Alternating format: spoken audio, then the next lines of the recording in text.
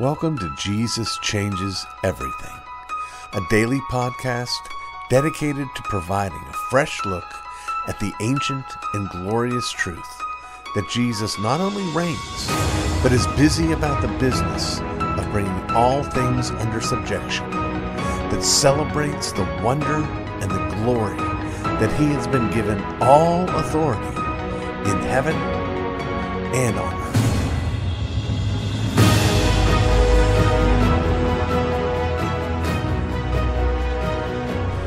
None of us particularly likes reruns. We tend to pay less than perfect attention when a point is being rehashed. Forgive me for repeating myself, but we really recoil from reiterations of recently recited returns. Nevertheless, there's not only a time for everything, but there's another time for everything or a time for everything again. Consider for a moment the subject of revival. Understood literally, revival means new life. In order for there to be new life, there first must be old life. It is not merely to make life, but to remake it. One cannot have life again without having life first. And there's only one source for life, whether old life or new life. Theologians make a distinction between what we call the ontological Trinity, pertaining to the being of the Trinity, and the economic Trinity, pertaining to the work of the Trinity. In the former, we affirm that each of the members of the Trinity is equal to the others in power and glory. They are the same in substance. There is nothing you can predicate about one member of the Trinity that you cannot predicate about the others. The Father is, for instance, no more sovereign than the Son. The Son is no more loving than the Father, and the Spirit is no more omnipresent than either of them. When we speak of the economic Trinity, however, we're speaking specifically about the calling or roles of each of the members of the Trinity.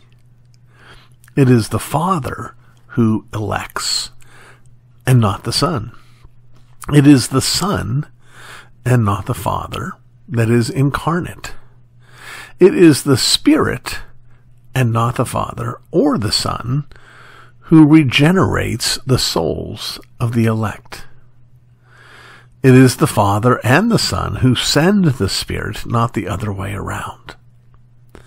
There is some overlap in the economic trinity, activities that all three members participate in in one way or another, and uh, I, I suspect that this is made most clear in the creation itself.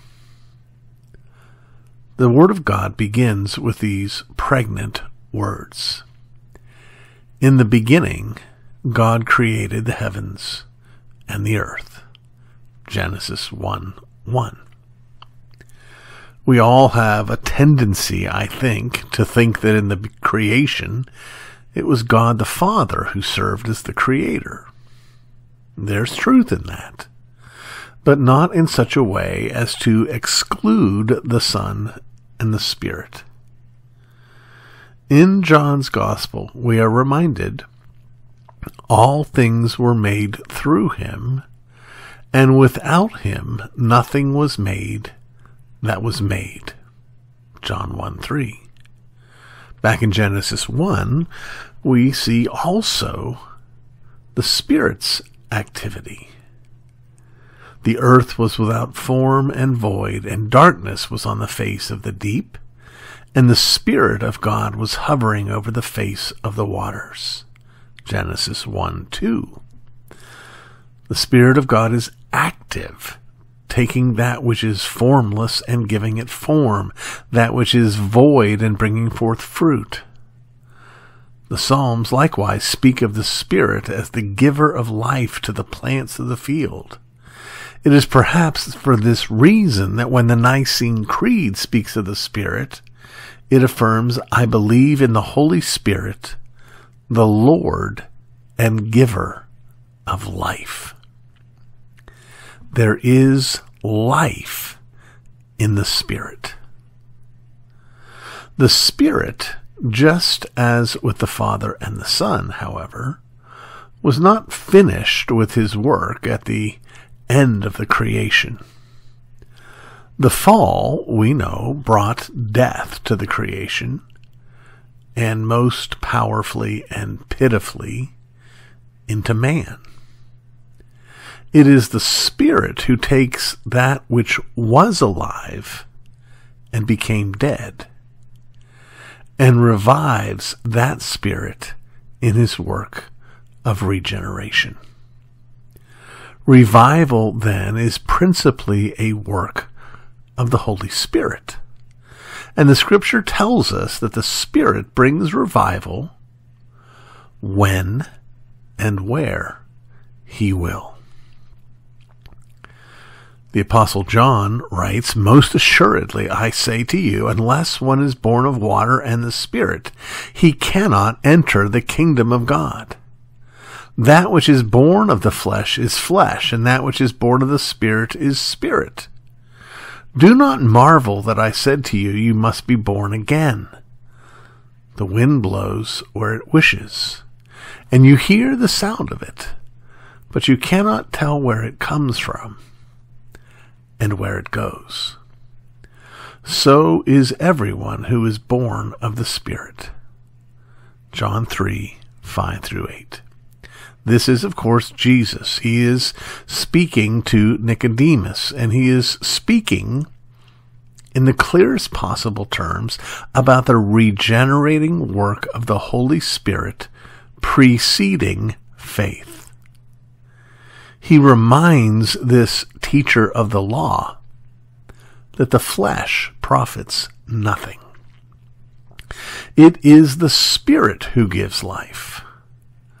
Our understanding of the sovereignty of God in regeneration must then drive our understanding of the sovereignty of God in revival. We cannot at the same time affirm that the Spirit is that which gives life, and affirm that we can bring revival to pass through human effort.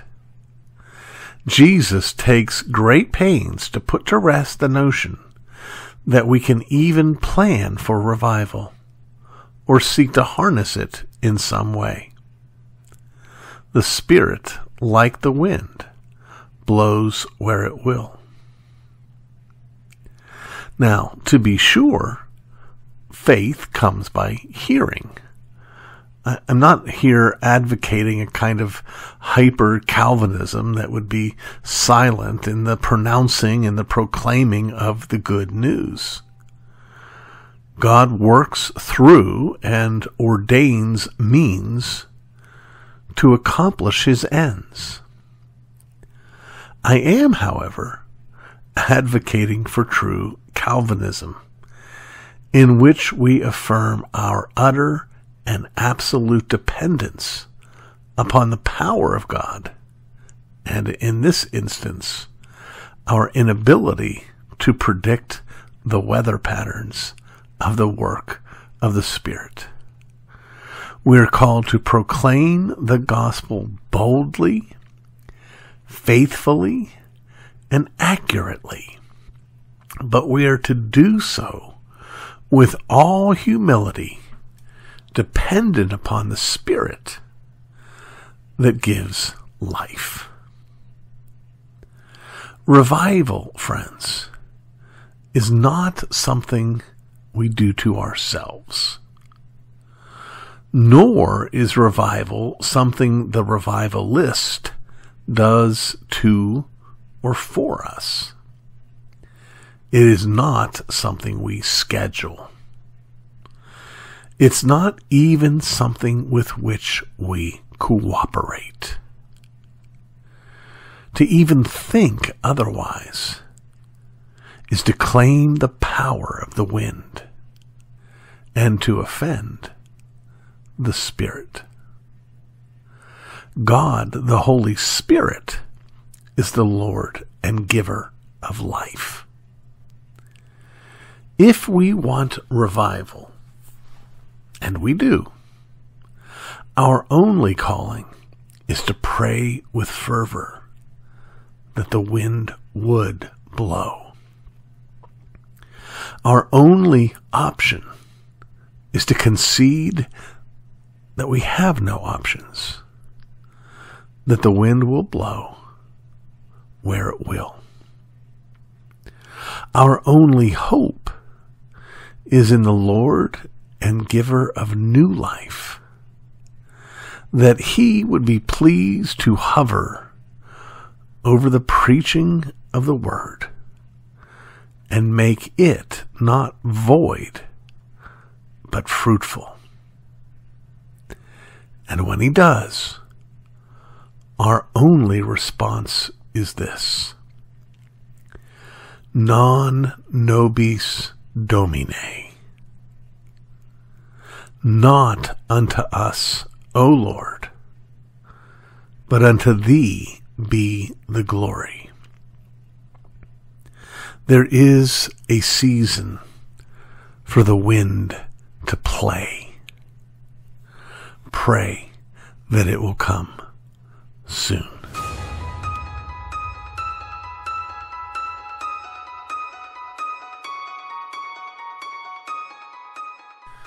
We are winding our way near to the end of the Old Testament, not quite there, uh, in our ongoing series, The Bible in Five Minutes. And today we come to the prophet Haggai, H A G G A I. Haggai was a prophet uh, who served God's people in Judah uh, during the time of the return from the exile. We're given a clue as to that time frame as a reference is made to the second year of King Darius.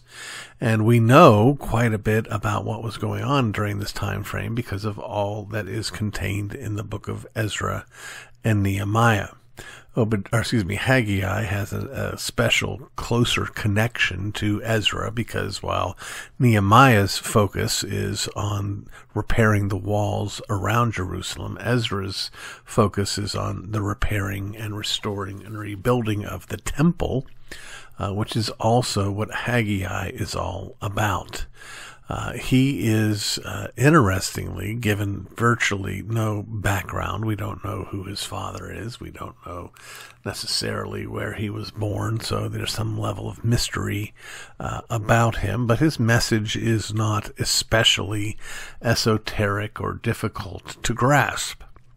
Rather, uh, his message was an, an, interesting combination of the affirmation of the responsibility of God's people, both to do the work that God had given them to do and to have their hearts committed to Him.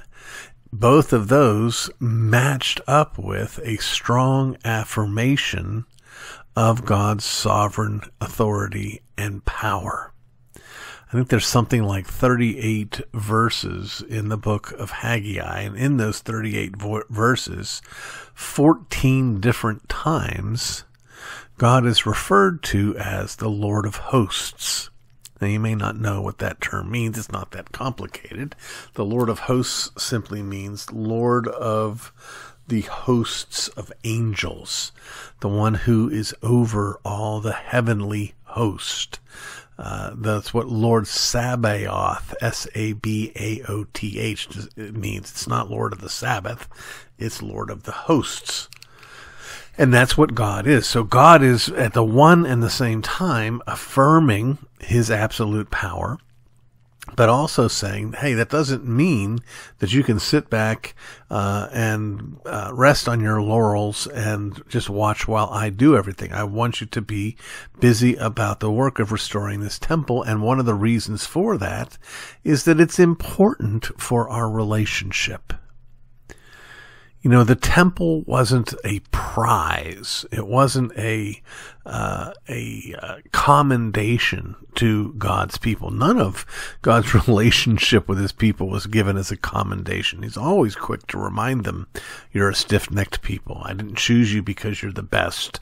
I didn't choose you because you're the strongest or the biggest. I chose you to make my name known." But the temple is that place by which God continues to renew covenant with his people you understand that when God's people would bring their sacrifices to the temple, when they would come to Jerusalem and the temple for the annual festivals there, uh, that this was a form of covenant renewal. It's not a new covenant. It's not that the covenant expires.